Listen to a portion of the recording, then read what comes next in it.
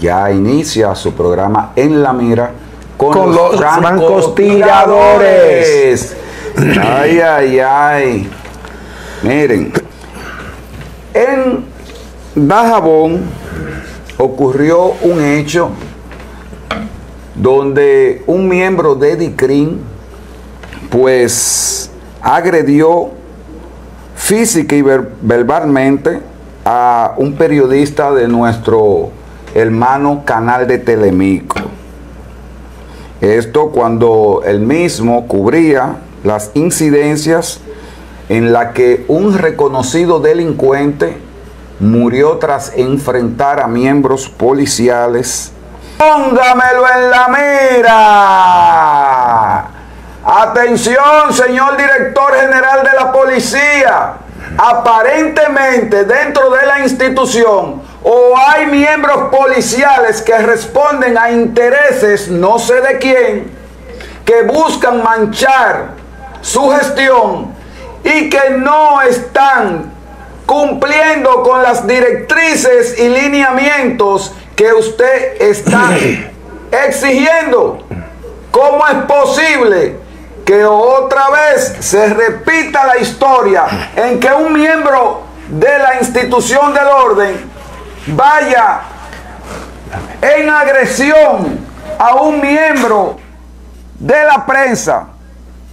Ese señor que ustedes ven ahí, miembro de DICRIN, que pertenece a la dotación policial de la Dirección Regional Noroeste, entendemos que debe ser llamado a capítulo a través de los organismos investigativos de la institución, porque debe haber un precedente.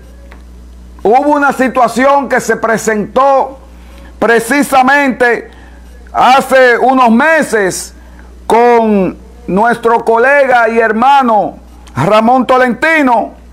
También pasó otro incidente con Vargas Vila Riverón. También en la ciudad de Santiago pasó otro incidente con uno de los que conforman el programa El Comunicador Gutiérrez. Y vamos ahora a sumar este caso. Entonces, yo quiero que a mí me pregunten, que a mí me pregunten cuáles han sido las consecuencias de aquellos miembros policiales que no entienden que entre los miembros de la prensa y la Policía Nacional debe haber un matrimonio, una relación íntima. Pero hay miembros policiales que aparentemente tienen problemas de salud mental, que no saben manejar crisis y que son muy guapos a la hora de enfrentar miembros de la prensa. Pero no son tan guapos con los delincuentes y más cuando ellos pagan y para que se hagan de la vista gorda.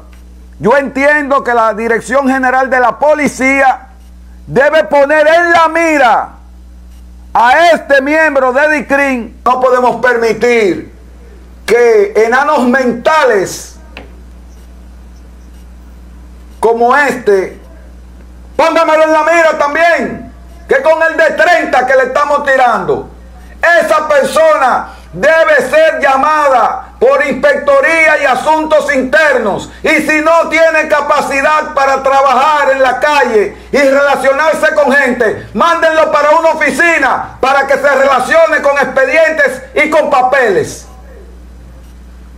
No podemos seguir permitiendo los abusos policiales en contra de los miembros de la prensa.